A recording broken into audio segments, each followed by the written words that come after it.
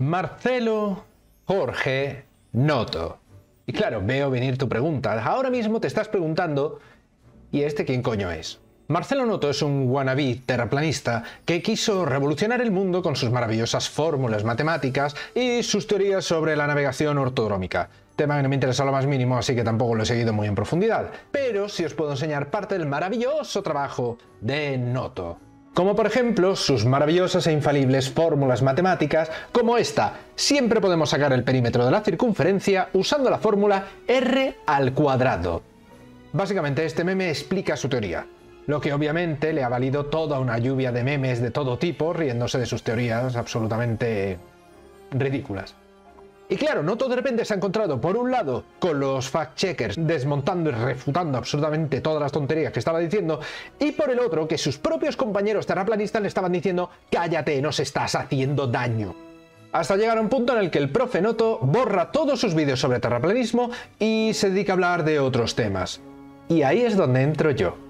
Noto subió hace unos días un vídeo hablando sobre el espacio. Y bueno, ya sabéis que es un poco mi tema, así que miré el vídeo y me dieron ganas de darle un aplauso. En la cara. Con una silla. Otra cosa interesante que hay que decir de Noto es que por un lado no le gusta que la gente insulte. El insulto no lo permito yo. Ni, ni a mí ni a cualquiera que piense diferente.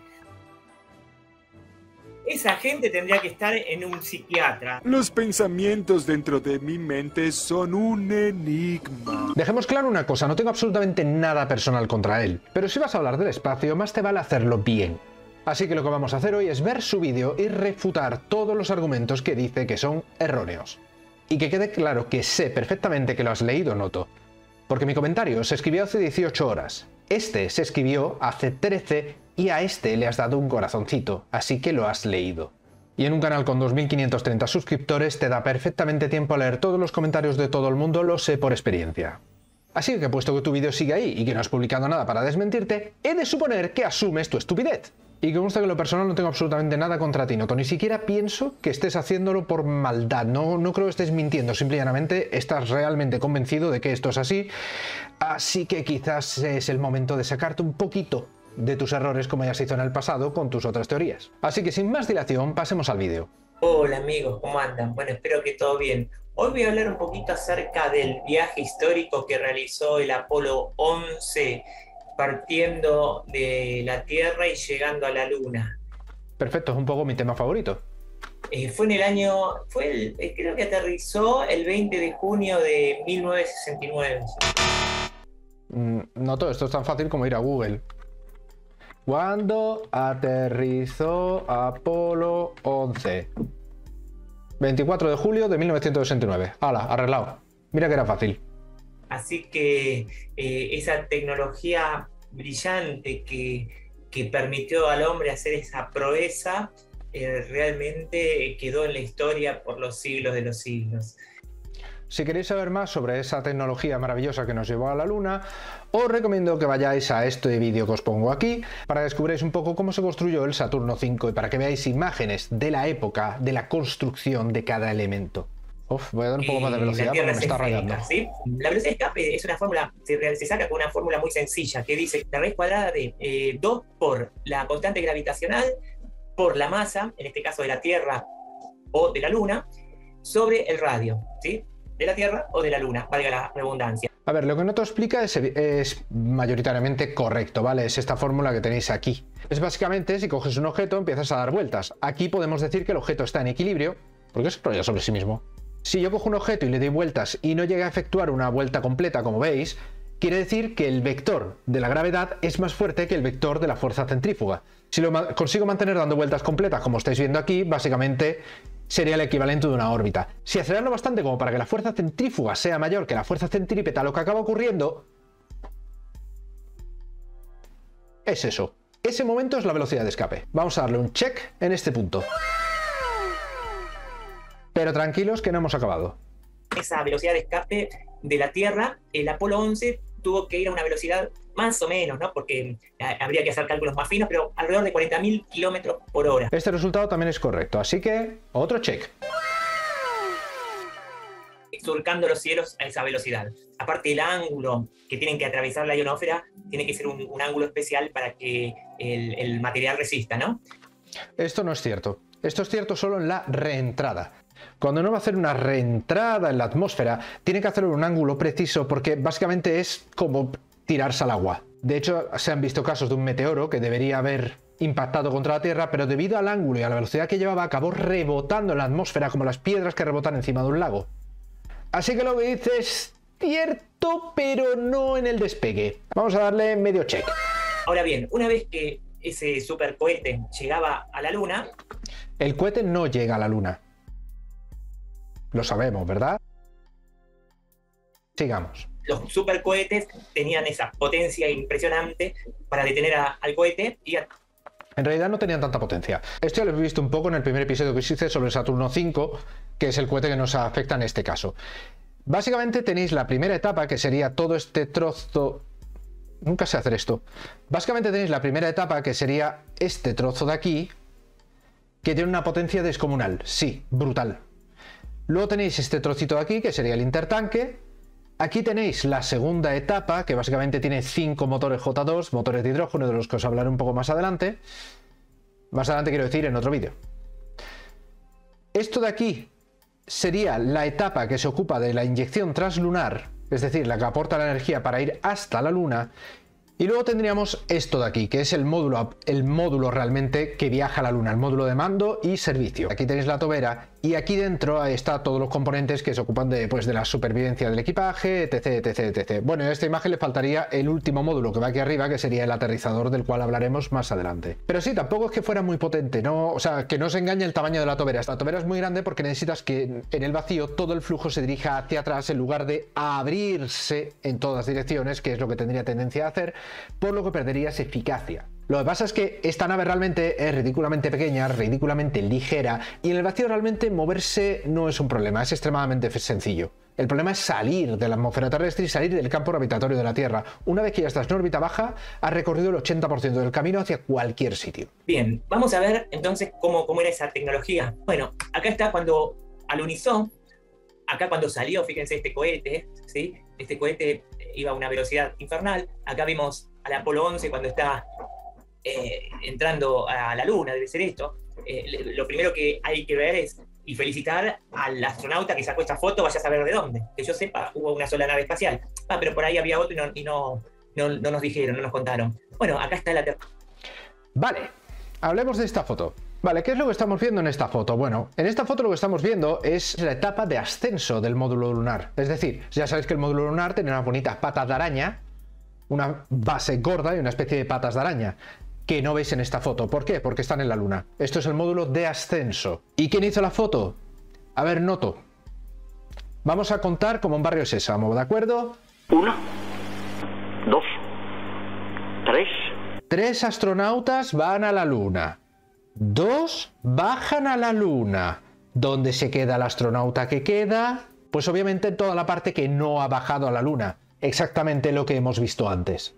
Era complicado pensar en esto, ¿eh, Noto? Era realmente complicado pensar en esto. Pero bueno, sigamos a ver qué tontería nos dice ahora. Bueno, acá están caminando, acá la famosa huella, algo impresionante, ¿no? Es, es una, una tecnología que lástima que se perdió, ¿no? Esa tecnología ya se perdió. Pero bueno, sí, Ah, el argumento de... ¿Cómo? No podemos ir a porque se perdió la tecnología. ¿Cómo se perdió la tecnología?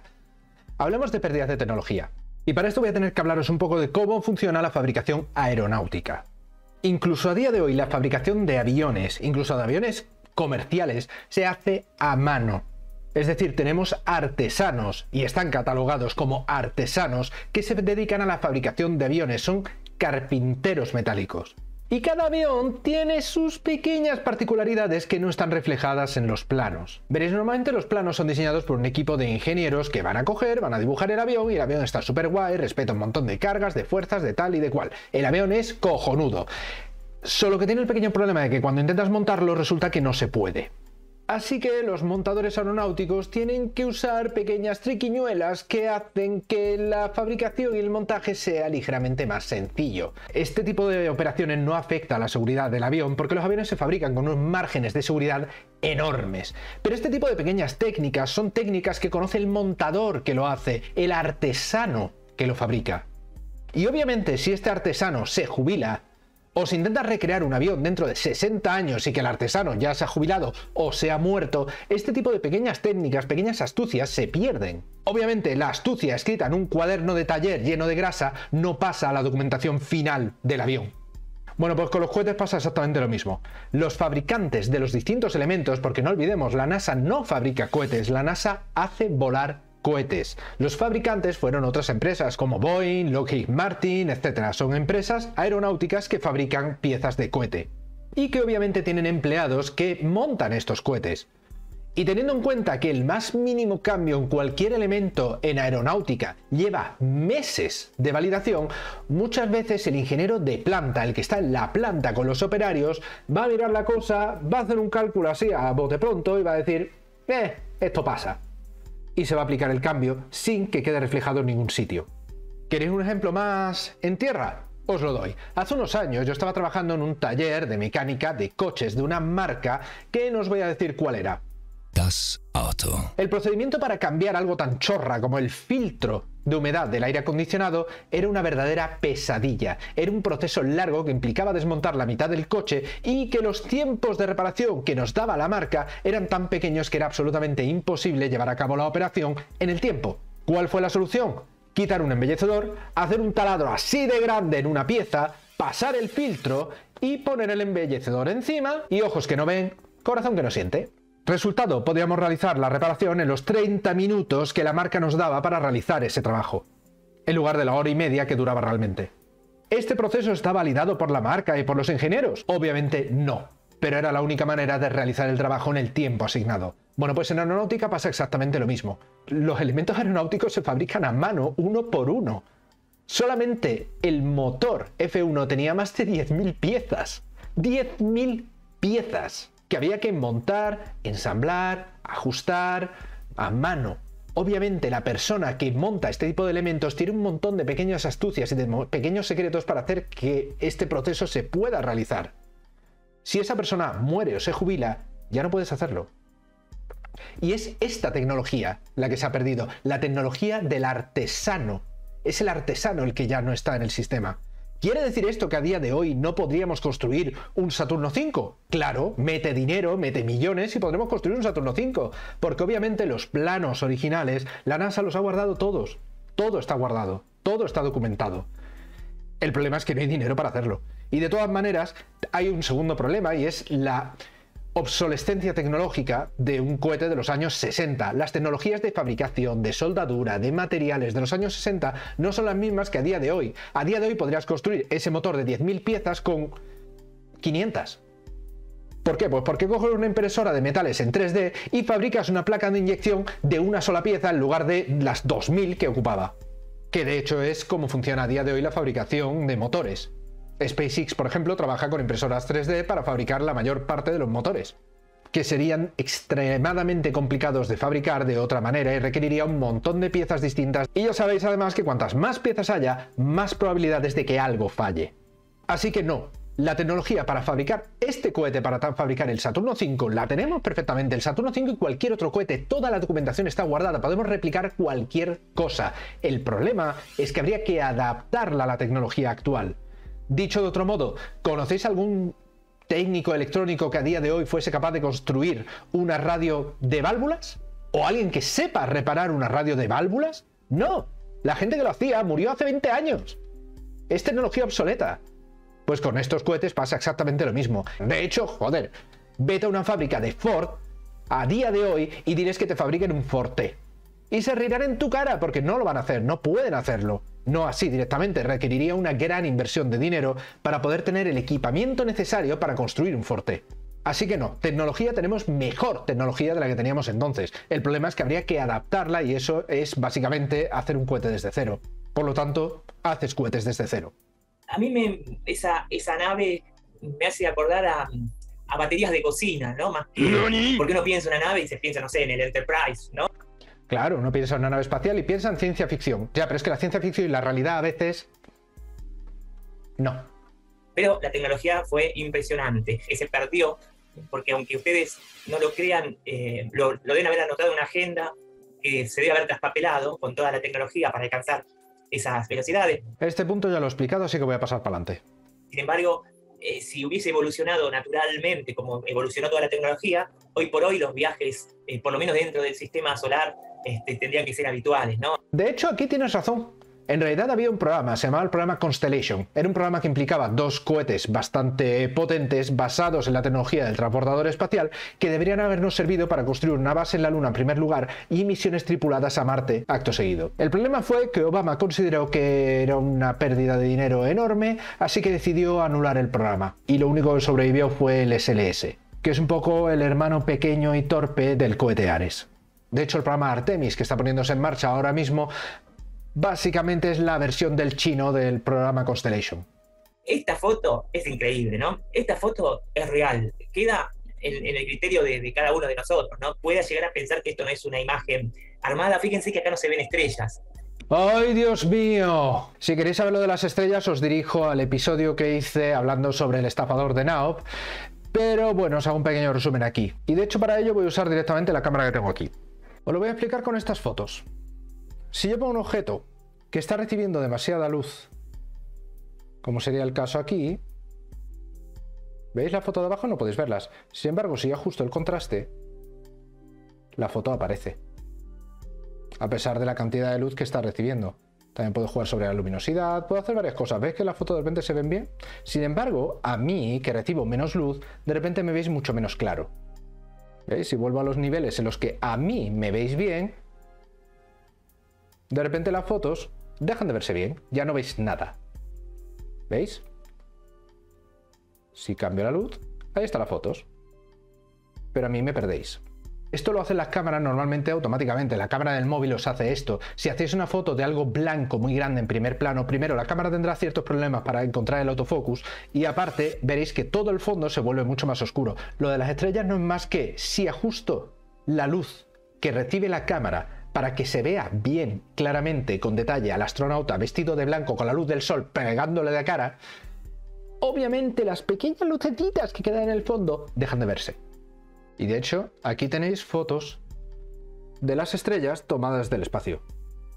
Mirad qué belleza. Pero, ¿qué ocurre? Esto que está aquí es la ISS, son módulos de la ISS en primer plano que apenas están viendo, lo único que se ve es este plato grande, pero todo lo que está allí en esa zona no lo veis. Sabéis que está ahí porque las estrellas se están cortando. Es decir, ahí hay algo y no lo estáis viendo, no veis el detalle. En este lado pasa lo mismo. Aquí tenéis módulos que no veis en detalle. Sin embargo, cuando llega el amanecer, como es aquí, una mínima luz os permite ya ver los objetos que están delante. Es como esta foto, no podéis ver estrellas si tenéis el sol pegando de cara. Y de hecho es muy simple. ¿Veis estrellas de día? Las estrellas siguen ahí, no las veis. Mirad este vídeo, si os fijáis, aquí estáis viendo estrellas y no veis nada de la Tierra. Esto de aquí es la Tierra y no se ve. Pero cuando llega el sol y empieza a amanecer, mira lo que ha pasado las estrellas. Todo va bien, todavía conseguimos apreciar estrellas, pero la luz cada vez nos ciega más y más y más hasta que el sol sale totalmente y la cámara no es capaz de asumirlo. La cámara no puede estar tan abierta que sea capaz de captar la luz de las estrellas, que es extremadamente débil al mismo tiempo que tiene el sol pegándole en la cara. Pero como ya os digo, eso os lo explico en el vídeo que hice hablando sobre, sobre Now. Lo tenéis ahí, lo tenéis en descripción, vais y lo veis, ¿de acuerdo? Sigamos con esto. Algo, hay otra, por ejemplo, la, imagen que yo tengo atrás. Acá se ven las estrellas. Y esta imagen que tengo atrás también dicen que es real. Claro, la imagen es real, ahí está. Lo que no sé si será real es la fotografía. Eh, yo no creo que sea real. Es decir, la imagen de la Tierra es real, la imagen del cielo seguramente también sea real, pero probablemente están tomadas en momentos distintos y luego se ha hecho un montaje o han tenido tratamientos de luz totalmente diferentes. Es decir, obviamente en esta imagen ha tenido que aplicarse un poquito de Photoshop para conseguir este resultado. Ya habéis visto lo que os he enseñado antes. Para que se vean las estrellas, ya habéis visto con qué color se ve la Tierra. muy mal. Así que se requiere un poquito de trabajo de postproducción para conseguir básicamente iluminar correctamente ambas zonas del cielo y equilibrarlas. Así que la imagen es real. Las fotos de las que sale son reales. La imagen en sí misma es un montaje, pero es un montaje de imágenes reales. Ven, fíjense acá. Acá no, no, no hay estrellas. Y el firmamento tendría que estar lleno de estrellas, porque acá no hay luz artificial, no hay nada, esto es la luna. Ya hemos hablado de esto. Next. Miren lo que es. Realmente es increíble, ¿no? Ni, ni la morfología da una sensación de, penetración en, una atmósfera. Parece que... Totalmente lógico porque no tenía que penetrar en la atmósfera. De hecho, el aterrizador, que lo tienes aquí, iba camuflado dentro de la, de la cofia del, del, cohete para que no sufriera precisamente con la atmósfera, porque era extremadamente delicado. Esta parte de aquí sí que se encontraba expuesta al exterior porque estaba hecha para eso. Que, no tiene ningún, eh, ¿cómo puedo decir? Ningún efecto de, hidrodinámico, qué sé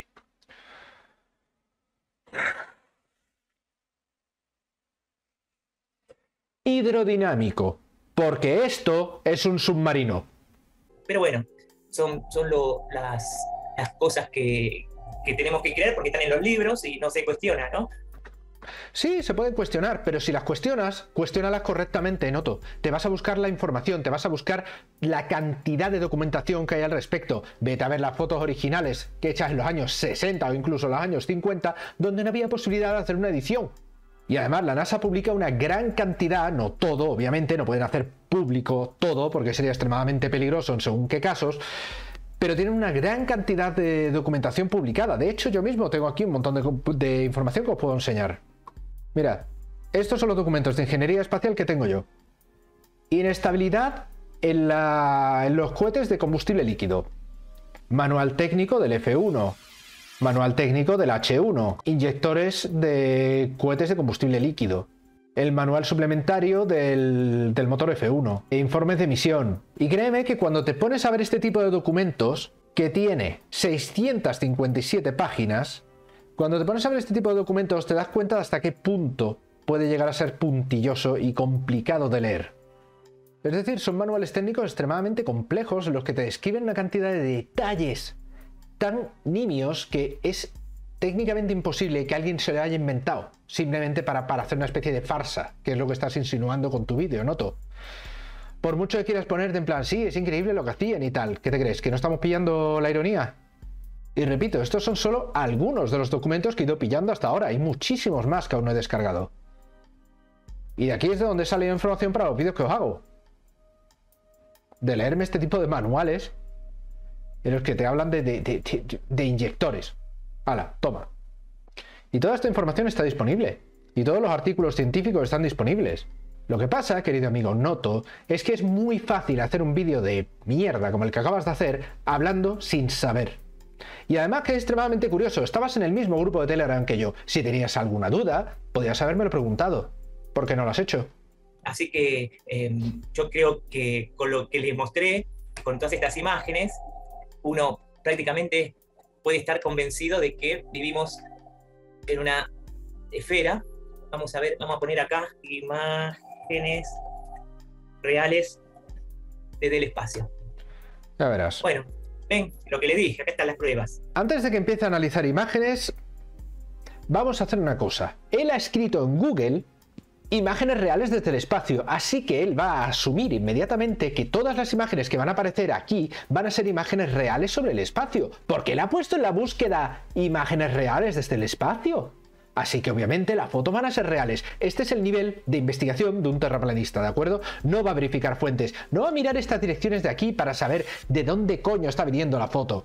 No, no, no, no. Él ha puesto imágenes reales, así que asumimos que son imágenes reales. Así que si encontramos CGI, la NASA nos miente. Acá están las pruebas. Miren qué lindo que se ve la Tierra desde el espacio. Miren este astronauta. Esta foto la podríamos eh, bautizar con un nombre artístico, ¿no? El, el astronauta solitario. Vaya a saber quién le sacó la foto. Noto, ¿tú te crees que este hombre es Superman? ¿Que ha subido hasta allá arriba él solo? ¿Sin una nave espacial?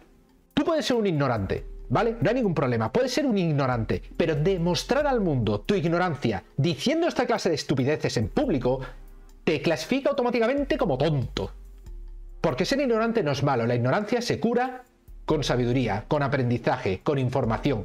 Pero mostrar tu estupidez diciendo esto que acabas de decir ahora mismo, es que luego dirás, no, es que ¿por qué tienen que insultar? Porque eres tonto, tío. Es que eres tonto. Miren, ¿quién dijo que no, que la Tierra no es redonda? Fíjense la curvatura bien marcada. Acá está menos marcada, acá se dobla más. Se ve que la fuerza gravitacional en esa, en esa zona hace que se arquee más.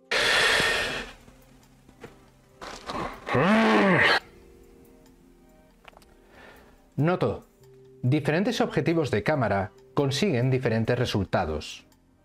Una cámara que englobe más ángulo, que tenga más ángulo de visión, forzosamente para meterlo dentro del tamaño de una foto cuadrada, lo que va a hacer es comprimir. Y si tienes una curvatura extremadamente ligera y que comprimes desde los bordes, lo que haces es crear una curvatura mayor. Esto es una cuestión de punto de vista de la cámara, es una cuestión de lo que la cámara está intentando conseguir. Partimos de la, de la base que esta, esta, esta, esta imagen, todas estas cuatro al menos, todas han sido tomadas desde la ISS, así que estamos hablando de aproximadamente la misma altura, así que la curvatura debería ser más o menos la misma. Y esta de aquí y esta de aquí se han tomado desde lanzaderas espaciales, que es la nave que puso a este astronauta ahí para poder hacerle la foto. Pero os puedo enseñar un poquito de qué, de qué va esta historia de los ángulos de cámara y tal. Os lo enseño rápidamente. Mirad, esto es lo que pasa en función del ángulo de cámara que estés utilizando. Mirad lo que está ocurriendo con el fondo, ¿de acuerdo? Es decir, de repente el horizonte, bueno, el horizonte, la altura de la montaña varía con respecto a la farola en función de qué lente estés utilizando. Pues bueno, esto ocurre también a lo ancho. Todas las cámaras tienen una deformación asociada. La cámara que estoy usando ahora mismo, por ejemplo, si me acerco mucho a ella, me va a deformar, me va a hacer mucho más ancho de lo que realmente soy. Y de hecho, no lo veis porque lo tengo cortado, pero aquí en los bordes la cámara está arqueada. De hecho, la elección del tipo de lente que utilizas en una cámara es una de esas decisiones que tiene que tomar un youtuber cuando empieza a grabar. Bueno, yo no porque estoy usando un móvil, pero si grabase con una Nikon o algo por el estilo, con una cámara reflex, tendría distintos objetivos que tendría que adaptar en función de si quiero hacer un plano general, un plano corto. En realidad, todo fabuloso. Esto que es una nebulosa, debe ser, ¿no? Ya de entrada, ¿son reales las imágenes del universo? Geo... ¿Qué coño pone ahí? Geoenciclopedia.com. Es decir, fuente. Esa. Y ya está. Acá debe, debe haber también agujeros negros, ¿no? A ver. Ah, uh, ¿Qué tienen que ver los un agujeros agujero negros? negro ahora? real. Fíjense que va. Ahora, digo, con todo lo Agujero negro real. Y nos plantan ahí. Una y esa de allí otra. Dos imágenes de Interstellar. Bueno, y este señor de aquí me parece a mí que no es un agujero negro tampoco, ¿eh? Esto tampoco es una imagen real. Esto no es una imagen real. Es decir, haber puesto la palabra real en la búsqueda de Google no implica que las imágenes vayan a ser reales. colores que, que podría haber en el espacio justo lo van a hacer negro el agujero para que no se vea nada. Esto es tan estúpido que no vine a explicarlo. Os dejo. De hecho, os lo voy a poner otra vez para que podáis explayaros, que podáis reíros bien como debido. Digo, con todos los colores que, que podría haber en el espacio justo lo van a hacer negro el agujero para que no se vea nada. ¿Vale? Ya está. Ahí lo tenéis. De nada. Vaya a saber a los millones de millones de millones de trillones de años luz que está, ¿no? Miren acá. Pues es fácil. Haz clic en el primer enlace y te dirá dónde está ese agujero negro. De hecho, vamos a hacerlo. Agujero negro real. Primera imagen real de la historia de un agujero negro supermasivo ubicado en el centro de la galaxia M87.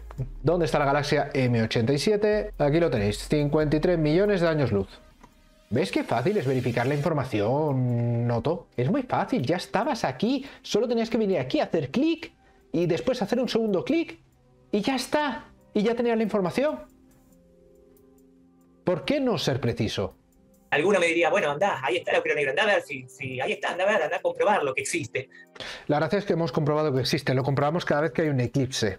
De hecho, es así como se verificó que la teoría de la relatividad de Einstein era correcta. Durante un eclipse se verificó si la luz que venía desde los bordes del Sol mostraba estrellas que no deberían mostrarse porque en teoría deberían estar ocultas detrás del eclipse. Y debido a la gravitación del Sol, esa luz se curva y nos permite ver objetos que estaban, digamos, detrás de la esquina. Y de hecho ese es el efecto que estáis viendo aquí. Es luz deformada, que la gran parte de esta luz no deberíamos poder verla porque debería estar detrás justo del agujero negro y se dobla. Y de hecho esto se llama una lente gravitacional y en astronomía se utiliza precisamente para ver objetos que no deberíamos ver normalmente. Esto desgraciadamente es un acto de fe, no es un acto de ciencia, ¿no? Puede que para ti sea un acto de fe, pero no es un acto de fe para los miles de astrónomos, los cientos de miles de astrónomos que hay en la Tierra. ¿Vale? No es un acto de fe para los cientos de miles de astrofísicos que hay en la Tierra. No es un acto de fe para toda la gente que entiende este, los artículos científicos que salen con respecto a esto. Es decir, no es un acto de fe. Esto está más que contrastado, verificado y contrastado. Acá, fíjense, ¿cuánto tarda en formarse un agujero negro? Y no sé, todavía no se debe haber formado un reloj que cronometre tanta, tanta... Y se ha ido a poner en la única imagen, en la única imagen que es más falsa que el currículum de Irulanducci. Así se ve la primera imagen de un agujero negro en Blogia. Ah, en Blogia.com es la página. Bueno, es algo infernal, ¿no? Miren acá. Esto es un agujero negro descompuesto. Es decir, vamos a ver, mirad esta imagen que estáis viendo aquí. ¿De verdad alguien podría creer que estas imágenes son reales? Es decir, esto es una imagen de Interstellar. Esto es una interpretación de cómo se vería un agujero negro central de una galaxia. No es un agujero negro real. Esto no es un agujero negro real. Esto no sabemos ni lo que es. Es una imagen del cielo, pero no vemos qué. Esto es el ojo de Sauron. Esto no es una imagen real. Esto no sé ni lo que es. Espera, ¿esto me suena? Hostia, claro que me suena. Estas dos imágenes vienen de Star Trek. De Star Trek Deep Space Nine. Cuando se abría un portal que llevaba a otra parte de la galaxia. Había un agujero de gusano y este era el aspecto que tenía cuando se abría. ¿Vale? Pero claro, eh, era puesto agujero negro real, así que vamos a imaginar que es real y si no lo es, es que la NASA miente, ¿vale? Ese es el argumento, acordaos. Totalmente lógico. Y ya hemos acabado.